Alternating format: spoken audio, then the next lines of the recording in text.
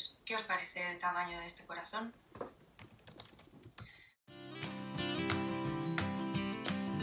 Bonjour, je m'appelle Christelle et je suis en troisième année de médecine vétérinaire au CEU.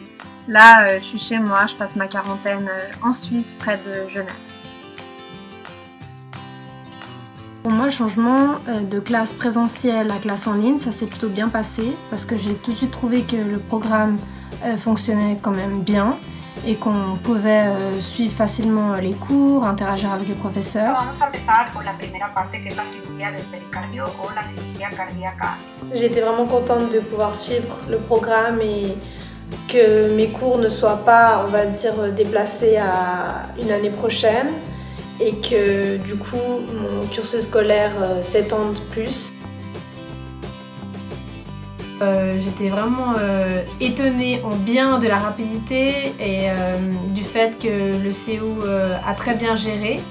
Et du coup maintenant je sais que dans n'importe quelle situation, euh, je pourrais avoir euh, une bonne éducation parce que peu importe euh, ce qui se passe, j'ai été vraiment très contente de comment les choses se sont passées.